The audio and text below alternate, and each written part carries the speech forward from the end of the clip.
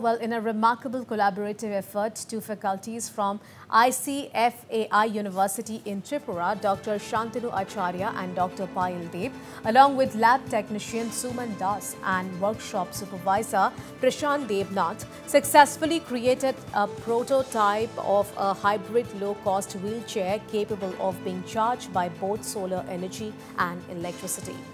The initiative aimed at offering enhanced mobility and independence to individuals with physical challenges and the elderly.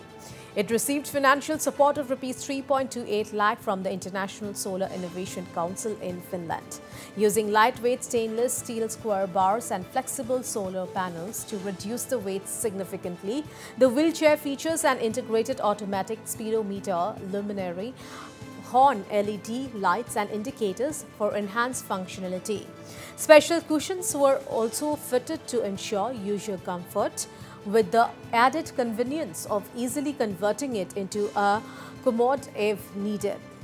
The team worked diligently incorporating feedback from physically challenged individuals who tested an earlier version of the wheelchair. She is Dr. Payal Deb. She, he is uh, Shuman Das and Prashanto Devnath. And this is my team. We have built this one and it was funded by INSIC Finland. I have my father who is who have uh, disability in locomotion and apart from that I have my one niece who is uh, CP cerebral pulse so they can't move. That was the basic theme from my long ago I was prepared that means uh, preparing to build such type of things.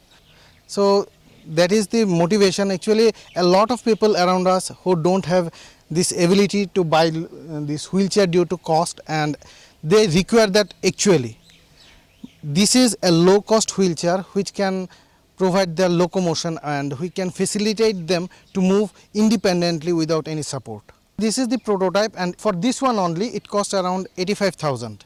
But if we prepare it or develop it in a bulk, in that case uh, in mass scale it, its cost will reduce. It will reduce to around 40,000. It will depend upon the customization. It can be customized as well. It's hybrid. Primarily it will be run by solar panel because we know for generation of electricity a lot of fossil fuel is being used and that emits a lot of greenhouse gases that affects our environment. Well, Vice Chancellor of ICFAI University, Professor Dr. Biplab Haldar, lauded the innovative efforts, stressing the positive impact on students and their motivation towards further innovation. The VC also stated that the university plans to make the wheelchair commercially available, offering sustainable solutions to the challenges faced by physically disabled individuals through green energy utilization. Very happy to say that our university faculty member, they have already completed one project which is uh, funded by Finland based organization which is we have already made the product that is low powered solar wheelchair. Mm, and uh, this was already made for the disabled people as well as older elderly people. And this is being handed over recently by a program to the our special education department. And through that we are going to give to the uh, uh, people who require it, disabled uh, children who are there in the uh, coming to the university in the department.